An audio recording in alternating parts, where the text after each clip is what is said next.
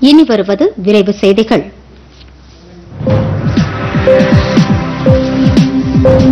தமிழகத்தில் உள்ள அனைத்து பள்ளிகளிலும் சுகாதாரம் சார்ந்த விழிப்புணர்வு நிகழ்ச்சிகளை நடத்துவதற்கான கால அட்டவணையை பள்ளி கல்வித்துறை வெளியிட்டுள்ளது. இதுகுறித்து அனைத்து மாவட்ட முதன்மை கல்வி அலுவலர்களுக்கும் அனுப்பப்பட்டுள்ள சுற்றறிக்கையில் தூய்மையான நிகழ்வுகள் இரண்டாயிரத்தி இருபத்தி ஒன்று என்ற திட்டத்தின் கீழ் அனைத்து பள்ளிகளிலும் செப்டம்பர் ஒன்றாம் தேதி முதல் பதினைந்தாம் தேதி வரை சுகாதாரம் சார்ந்த விழிப்புணர்வு நிகழ்ச்சிகளை நடத்த வேண்டும் என்று தெரிவிக்கப்பட்டுள்ளது. அதன்படி செப்டம்பர் ஒன்றாம் தேதி தூய்மை உறுதிமொழி தினம் இரண்டாம் தேதி தூய்மை விழிப்புணர்வு தினம் மூன்றாம் தேதி சமூக விழிப்புணர்வு தினம் என ஒவ்வொரு நாளுக்குமான அட்டவணை வெளியிடப்பட்டுள்ளது. சென்னை மாநகராட்சி பல்வேறு மண்டலங்களில் சுற்றுச்சுவர் ஓவியங்கள் வரைந்து பொதுமக்களிடம் விழிப்புணர்வை ஏற்படுத்தி வருகிறது. தண்டையார்பேட்டை பகுதியில் உள்ள சுற்றுச்சுவர் மீது நீரின் அவசியம் மரம் வளர்ப்பு மற்றும் தலைக்கவசத்தின் முக்கியத்துவம் ஆகியவற்றை வலியுறுத்தி ஓவியங்கள் வரையப்பட்டுள்ளன. பூந்தமல்லி பிரதான சாலையில் கொரோனா தடுப்பூசி அவசியம் குறித்த விழிப்புணர்வு படம் வரையப்பட்டது.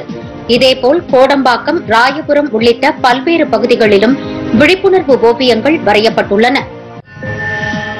தபால் துறை சார்பில் வழங்கப்படும் தங்க பத்திரம் விற்பனை அனைத்து தபால் நிலையங்களிலும் இன்று முதல் ஐந்து நாட்களுக்கு நடைபெறும் என்று அறிவிப்பு வெளியாகியுள்ளது. இதுகுறித்து அஞ்சல் துறையின் சென்னை மத்திய கோட்டம் வெளியிட்டுள்ள செய்திக்குறிப்பில் தங்கத்தை பத்திர வடிவில் சேமிக்கும் இந்த திட்டம் மிகவும் பாதுகாப்பானது என்றும் ஒருவர் ஒரு நிதியாண்டின் அதிகபட்சமாக நான்கு கிலோ வரை தங்கம் வாங்கலாம் என்று தெரிவிக்கப்பட்டுள்ளது. இதற்கு விண்ணப்பிக்க விரும்புவோர் பான் கார்டு ஆதார் அட்டை வாக்காளர் அடையாள அட்டை பாஸ்போர்ட் ஆகியவற்றில் ஏதேனும் ஒன்று மற்றும் தேசிய மயமாக்கப்பட்ட வங்கி புத்தகம் இவற்றை கொண்டு தங்கப்பத்திரத்தை பெற்றுக் கொள்ளலாம் என்று தெரிவிக்கப்பட்டுள்ளது. பெருநகர சென்னை மாநகராட்சியில் கட்டிடங்கள் கட்ட அனுமதி பெறுவது தொடர்பான புகார்களை தெரிவிக்க வாட்ஸ்அப் எண் அறிமுகம் செய்யப்பட்டுள்ளது. இதுகுறித்து மாநகராட்சி ஆணையர் ககன்தீப் சிங் பேடி வெளியிட்டுள்ள செய்திக்குறிப்பில் சென்னை மாநகராட்சியில் கட்டிடங்கள் கட்ட அனுமதி பெறுவதற்கான வழிகாட்டு நெறிமுறைகள் W W W dot Chennai corporation dot GOV dot IN என்ற இணையதளத்தில் வெளியிடப்பட்டுள்ளது என்று கூறியுள்ளார். இந்நிலையில் கட்டட அனுமதி தொடர்பான புகார்களை ஒன்று ஒன்பது ஒன்று மூன்று என்ற தொலைபேசி எண்ணிலும் ஒன்பது நான்கு நான்கு ஐந்து ஒன்று ஒன்பது பூஜ்ஜியம் ஏழு நான்கு எட்டு என்ற வாட்ஸ்அப் எண்ணிலும் தெரிவிக்கலாம் என்று கூறப்பட்டுள்ளது. ஜம்மு காஷ்மீர் பூஞ்ச் பகுதியில் ஊடுருவ முயன்ற தீவிரவாதி ஒருவர் சுட்டுக் கொல்லப்பட்டார். பூஞ்ச் மாவட்டத்தின் எல்லையோர கட்டுப்பாட்டு பகுதியில் தீவிரவாதிகள் ஊடுருவக்கூடும் என தகவல்கள் கிடைத்ததை அடுத்து ராணுவத்தினர் அப்பகுதியில் தீவிர கண்காணிப்பில் ஈடுபட்டிருந்தனர்.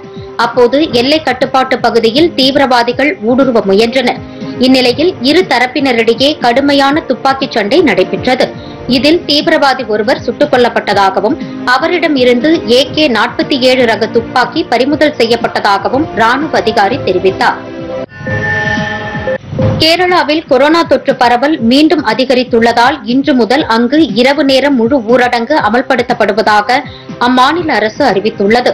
தொற்று பரவல் அதிகமாக உள்ள பகுதிகளில் தீவிர கட்டுப்பாடு மற்றும் ஊரடங்கை அமல்படுத்த மத்திய அரசு அறிவுறுத்தியதை தொடர்ந்து இந்த உத்தரவு பிறப்பிக்கப்பட்டுள்ளது. அதன்படி கேரளாவில் இரவு பத்து மணி முதல் காலை ஆறு மணி வரை ஊரடங்கு கட்டுப்பாடுகள் தீவிரமாக கடைபிடிக்கப்படும் என்று அம்மாநில அரசு அறிவித்துள்ளது.